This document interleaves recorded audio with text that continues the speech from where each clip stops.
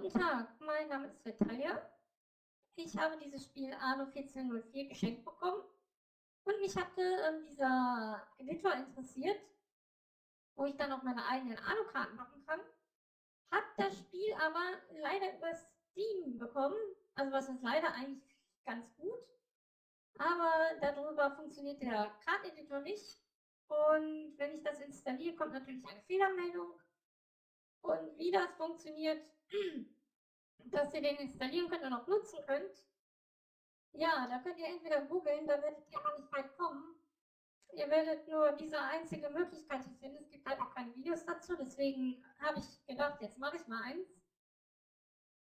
Ihr könnt zwar versuchen, wenn ihr gut genug seid, das ähm, hier über diese Hilfe zu finden, über ein Registerschlüssel-Editor ähm, folgende Keys erstellen, den installieren, den exportieren, den nächsten Key anlegen und äh, da HK, Lokal, Maschinen, bla bla bla, das alles anzulegen. Ja, gut. Ähm, jetzt will ich das Tutorial nicht beenden. Ich möchte das nämlich für welche machen, die das nicht verstehen. Darunter habe ich auch mal gezählt.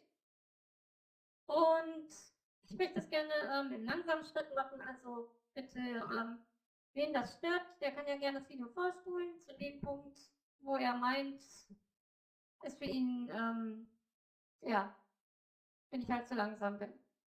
Okay, also Schritt 1. Ihr ladet euch Anno Version 1.3 herunter. Sollte eigentlich Steam machen, wenn ihr die Updates drin habt. So, und dann ladet ihr euch über das Internet, über entweder Chip Online oder sonst was, ähm, die Anno 1404 Entwickler-Tools, Excel herunter. Wenn ihr das gemacht habt, installiert die. Dann installiert ihr das ähm, und ja, und habt es erstmal auf dem Computer. Ähm, um die richtig zu installieren, geht ihr bitte dann in euer Steam, geht auf Bibliothek, geht auf das Arno 1404, also jetzt nicht das Add-on, sondern das Arno 1404, Rechtsklick, geht auf Eigenschaften, das findet ihr unten. Wenn ihr das gedrückt habt, öffnet sich dieses Fenster. Dort geht ihr auf lokale Dateien. Dann auf lokale Dateien durchsuchen Jetzt müsste sich euer Anno-Verzeichnis öffnen. So, hier sind die ganzen Spielverzeichnisse drin und für uns ist nur wichtig gleich diese Excel-Datei und der Tools-Ordner. Also den müsst ihr haben. Schreibt mir nicht in die Kommentare, ihr habt den nicht. okay, wenn ihr da drauf drückt, ist der bei euch nicht zu überladen wie bei mir gerade. Das liegt nämlich daran, weil ich den Editor schon erfolgreich installiert habe. Daran seht ihr auch, dass es klappt. Ihr habt hier nur dieses Benchmark drin und Arno Web und ja.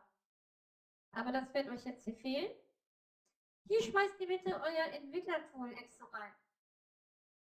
Und wenn ihr das von hier aus jetzt einfach installieren würdet, würde eine Fehlermeldung kommen. So, um diese Fehlermeldung zu umgehen, fange ich jetzt das Tutorial an. Das könnt ihr zur Seite schieben ähm, erster Schritt, den ihr macht, das schiebe ich auch mal zur Seite, brauchen wir jetzt nicht. Je nachdem, welches Windows ihr habt. Ich habe Windows 8. Dann geht ihr auf Suchen. Die Suche Windows 8 findet ihr, wenn ihr mit der Maus in die obere rechte Ecke geht. Da findet ihr eine Lupe. Da drückt ihr bitte drauf und gebt in diese Zeile das ein. Rec Edit. Okay? Aber zusammenschreiben bitte. Dann öffnet sich so eine Art, ähm, ja, hier dieser Klotz da oben, so sieht das aus, wie so Würfel. Da drückt ihr dann drauf. Und alle, die jetzt ein anderes Windows haben oder so, unten links unter, wo auch Start steht und so unter der Taskleiste, dort auf Suchen gehen. Auch Edit eingeben. Logisch. Das hier unten, das kommt dann für gleich.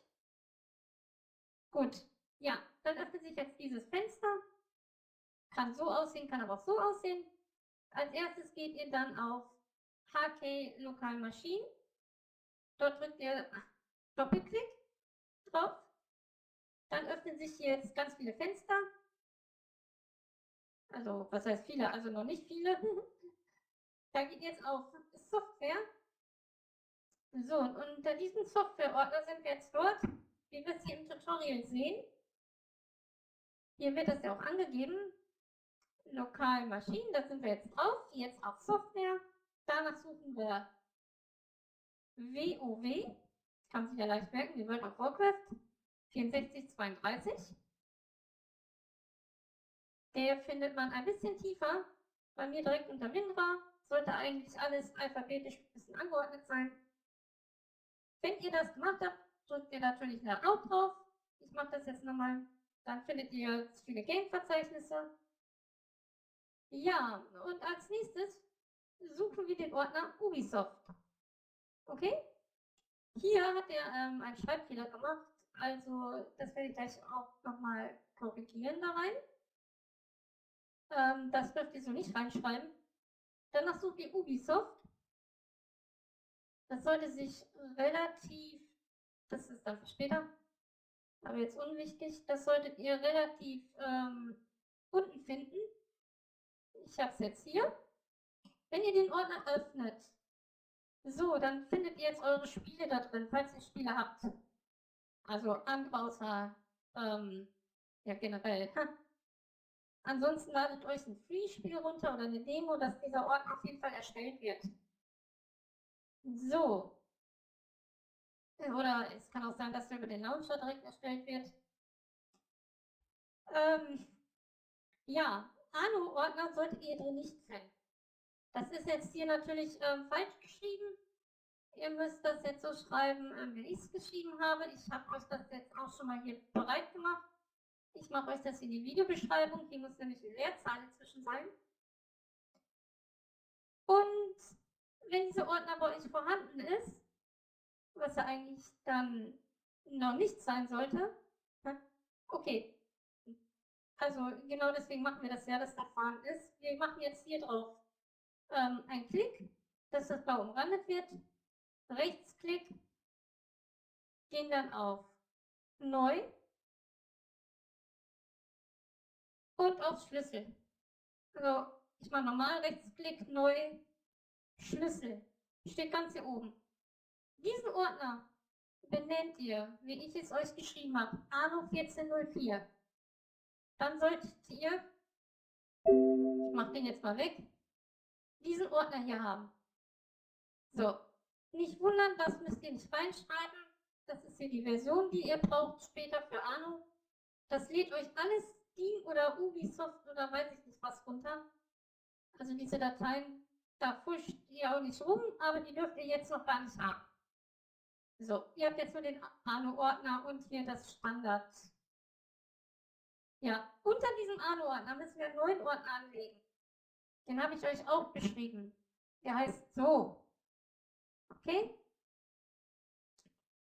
Den legt ihr bitte an. Da geht ihr jetzt auf euren Arno-Ordner, macht neu, macht wieder Schlüssel und schreibt dort rein diesen Namen. Doppelklick dann. Also Rechtsklick meine ich, Rechtsklick, umbenennen. So, und dann schreibt ihr das hier rein, dieses Reck. Okay? Gut, wenn ihr das reingeschrieben habt, dann gehen wir in dieses Fenster. Dann interessiert uns das jetzt erstmal hier nicht. Macht Rechtsklick, geht auf Neu. Ihr dürft ja auch nur das Standard stehen haben geht auf Zeichenfolge. Wenn ihr da drauf drückt, sollte auch ein rotes AB kommen. Und jetzt ähm, schreibt ihr das rein, was ich hier reingeschrieben habe. Einmal den Exepfad. Ich schreibe euch das hier dann auch nochmal rein. Der Exepfad ist bei mir natürlich ähm, jetzt auf G. Ich weiß nicht, wo ihr es hin installiert habt, ob auf C oder G, da müsst ihr gucken, das ist der Installationspfad von Steam. So, den findet ihr, wenn ihr wieder hier auf, ähm,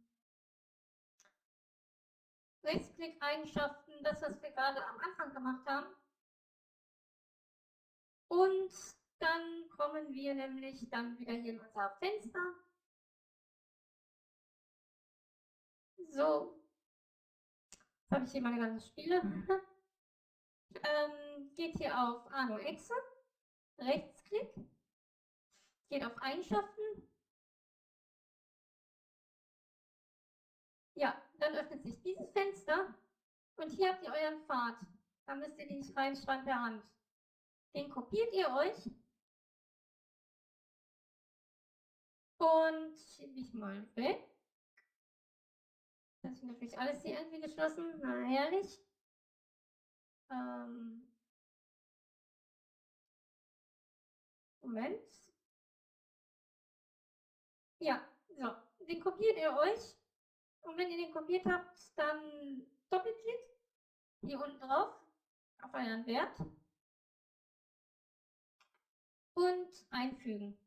Also Strong V dann, ne? Oder halt so. Ähm, ja, diesen Wert, das ist der Installier. Also das müsste dann hier oben stehen. Das müsst ihr so benennen. So, umbenennen einfach. Wer das noch nicht gemacht hat, dann schreibt ihr das hier rein. Installier. Ich schreibe es jetzt nicht nochmal komplett aus, weil dann habe ich es ja doppelt. So, dann erstellt ihr nochmal eine Zeichenfolge. Die benennt ihr wie den Wert. Der Unterschied. Wir machen jetzt hier noch einen Schrägstrich rein.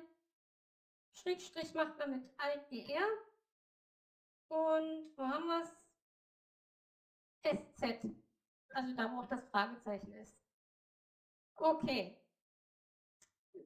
Daneben schreibt ihr eure Exe rein. Diese hier. Umbenennen, kopiert das komplett und fügt das hier neben. Und bestätigt mit OK.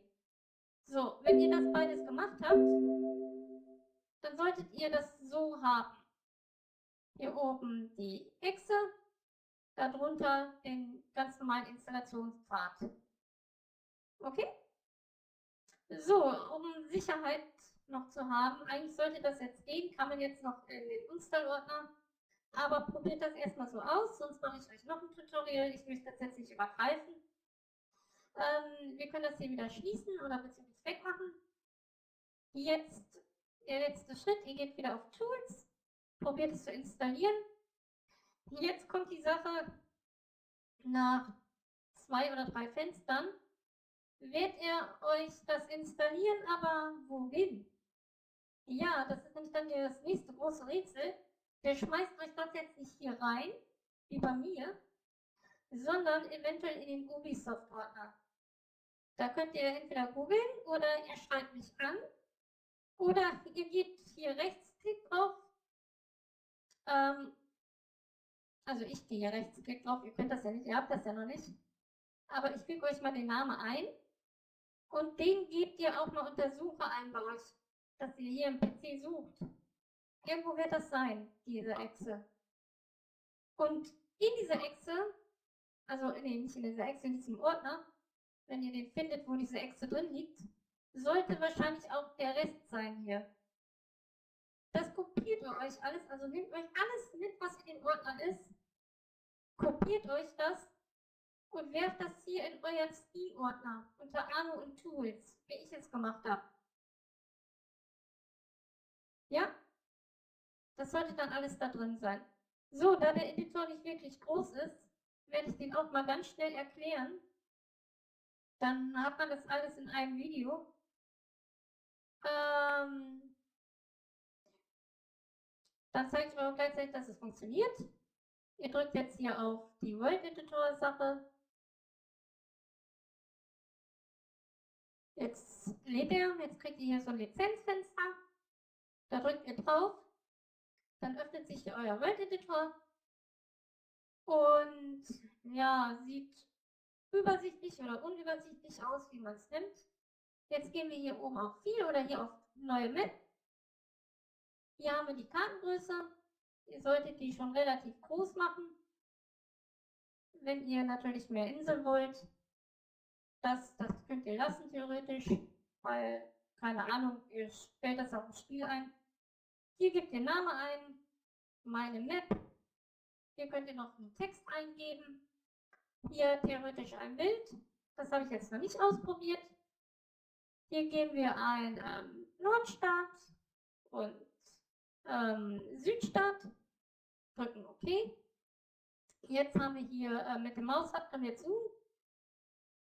Das ist ähm, die Schrägansicht der Karte, das ist die Wasserfläche und das ist außerhalb der Spielzone, die äußeren Dreiecke. So. Ja, ich hoffe, das ist alles auf dem Bild. also Zoom, ne? Ja, ähm, hier oben haben wir dann Player 0, Player 1, bla bla bla. Hier können wir jetzt Human Player eingeben, hier können wir eingeben, hier Helena und ja, noch wen. Ja, jetzt können wir hier zum Beispiel Helena eine andere Farbe geben. Ist jetzt natürlich total uninteressant. Hier unten haben wir die Arenale und hier die Ressourcen. Und dazu kommen wir gleich auch. Jetzt erstellen wir mal eine Insel. Da gehen wir auf das Plus. Jetzt haben wir hier schon mal ein paar Inseln zur Auswahl. Wie ihr seht, das sind Anbaupflanzinseln, also die, die ihr erobert, wo ihr euer Land baut. Dann gibt es noch die ähm, wichtigen Inselgruppen, das ist das ähm, Stadtgebiet. Da habt ihr drei zur Auswahl. Ich platziere jetzt mal eins. Das kann ich jetzt mit der Maustaste hier bewegen, wo ich es hin haben. Ich sage mal in die Mitte. Jetzt kann ich zoomen und wegzoomen. So, das ist jetzt das Startgebiet. Hier könnt ihr natürlich jetzt nichts anbauen. Ist ja im Spiel nichts anderes, ne? So, drehen tut ihr das. Wenn der Rand gelb ist, bedeutet, ihr habt es markiert. Dann könnt ihr das hier oben an den beiden blauen, mal runter machen, an den beiden blauen ähm, Richtungsdingern drehen. Eure Karte. Nach links und nach rechts. So, Jetzt können wir natürlich noch eine andere Insel zufügen. Dann nehme ich jetzt mal die hier einfach. Da sehen wir mal so den größten Unterschied. Die kann ich jetzt platzieren, wo ich will. Kann auch weggehen und die ganz nach oben platzieren. So. Ja, als nächstes brauchen wir noch ein Sword Island. Das ist halt eine Wüsteninsel. Die kann ich jetzt mal hier unten platzieren. Hier. So, dann brauchen wir natürlich noch äh, eine Schurkeninsel. Die kommt dann hier hin. Dann, ja, die, was heißt Schurkeninsel, ähm, das erkläre ich gleich. Ähm, jetzt brauchen wir noch ein Sun Island. Da platziere ich jetzt Start 1, Start 2, Start 3. Das ist jetzt hier vom Sultan. So. Da können wir natürlich auch nichts drauf bauen. Ist auch logisch. Was schade ist, dass man nicht ähm, versucht, Schiffe etc. machen kann, man sich selber Inseln gestalten kann, kreieren kann. Man kann nur die vorgegebenen hier machen. Ich kann nicht sagen, ob es dafür einen Editor gibt. Weiß ich leider nicht. So, jetzt geht es ums Platzieren kurz. Ähm, Ihr klickt die Insel an und habt hier so Felder. Diese Felder zeigen euch an, ähm, wo war das? Was ist für Ressourcen? Ja, genau hier oben. Passt auf. Klicke ich das an, ähm, kann man hier ähm, Ressourcen finden. Klicke ich das an, hat man natürlich eine viel größere Auswahl. Und das ist natürlich das ganze Inselgebiet hier, deswegen. Und wenn ich jetzt hier ähm, Doppelklick mache auf dieses graue Feld, dann habe ich hier ein Fenster, kann jetzt hier angeben Kupfer, Eisen, Gold und Steine etc. Ich mache jetzt mal Gold. Dann gebe ich jetzt den Hauptwert ein, hier wie viel Maximum, Minimum. So, und jetzt sehen wir hier rechts, haben wir Gold. dieser Insel komplett. Hier. Sonst hat die Insel nichts. Ja. Jetzt kann man noch angeben, ähm, dass nämlich Wien vorkommen. Jetzt kann man hier noch angeben, was hat das Ding? Das hat nur die drei zur Auswahl. Das ist, glaube ich, das Jagdteil. So. Und jetzt sehen wir hier auch ähm, Golden Animals.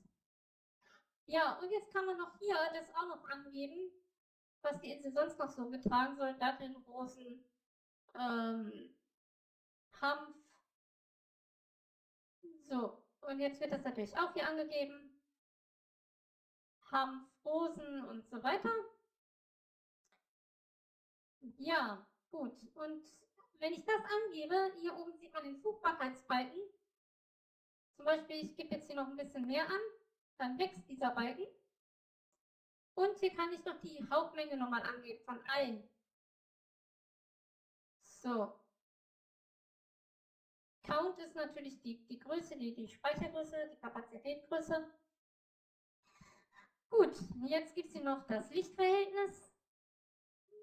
Dann haben wir, das kann man jetzt hier nicht ändern. Dann haben wir hier ähm, den nächsten Typ, das will ich euch dann mal zeigen. Das ist reguläres Island, Kosan Island. Und deswegen habe ich ja gesagt, ähm, machen wir hier unten Feind hin. Hier gehen wir auf Kosan Island. Und ja, gut, äh, so viel mehr hat dieser Editor jetzt nicht zu bieten. Jetzt kann ich hier noch mal eine Liste aufrufen, hier oben, indem ich hier unten drauf drücke. Ja. Ähm, das waren die Island Datas. Hier kann ich noch was angeben. Ähm, den Building Count, aber ich auf eine Insel drücken für Aber so wirklich ähm, ist das jetzt nicht so der Bringer dieser Editor, weil man kann wirklich nicht viel machen. Also ich weiß nicht, was ähm, einige Seiten geschrieben haben, aber okay.